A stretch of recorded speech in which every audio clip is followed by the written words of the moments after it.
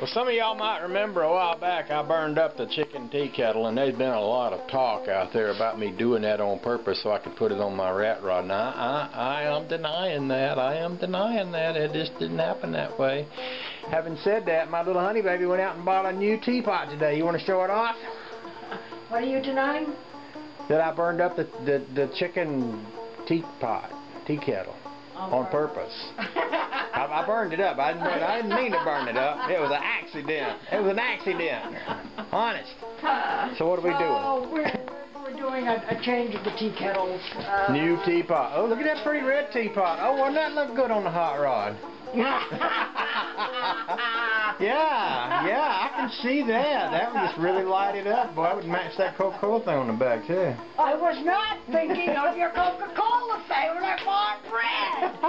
thinking of my new kitchen that's going to be black oh, oh, white oh, and red. Oh, oh, okay, okay, okay.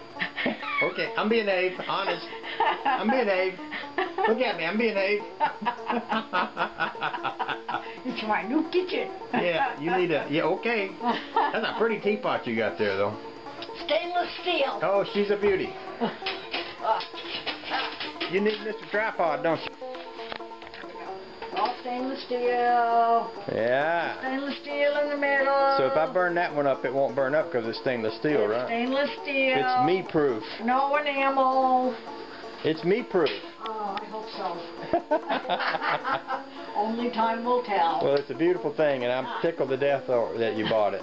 Thank you, honey, baby. You're you're the mostest. You're the mostest, and it matches our garbage can. Whee! yes, it does. That's awesome. We're, we're getting some red. We're getting red in here. Yeah. We're red.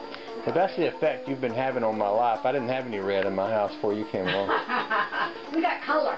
Yeah, we got color. We do have color. Looking good. It's a looking good. Well, thank you, honey, baby. That's awesome. Why are you walking around with a camera?